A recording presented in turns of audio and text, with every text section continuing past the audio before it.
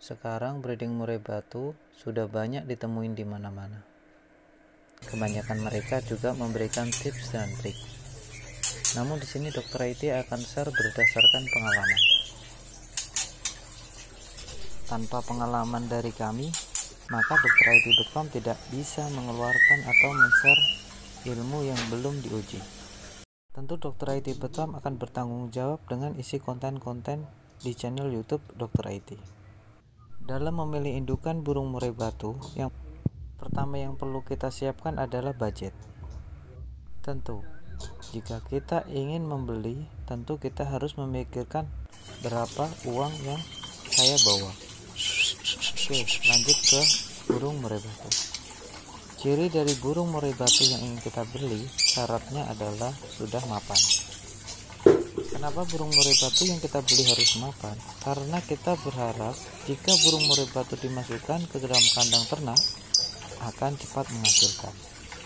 Itu tujuan untuk breeding. Tujuan breeding adalah cepat berhasil dan menelurkan lalu menetaskan. Lalu memiliki trotolan-trotolan. Yang tadinya kita hanya punya sepasang burung murai batu, saat burung murai batu bertelur empat dan netas semua, maka burung yang kita punya secara otomatis akan menjadi 6. Nah, kecepatan inilah yang saya cari. Meski harganya relatif lebih mahal daripada saya harus membeli induk, bahan indukan dari trotol yang harus saya besarin sampai umur matang. Itu akan menyita waktu saya. Ciri dari burung merepatu siap adalah untuk jantan minimal tiga kali mabung atau tiga tahun. Dan betina sebisa mungkin umur setahunan. Ini adalah idealnya. Untuk di lokasi lain jika ada yang lebih kurang dari umur itu mungkin banyak.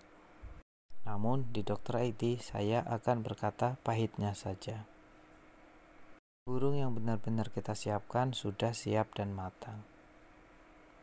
Oke, kiranya cukup sekian dari ulasan tentang mencari bahan untuk indukan breeding murai batu. Jangan lupa subscribe, share, dan komen. Terima kasih.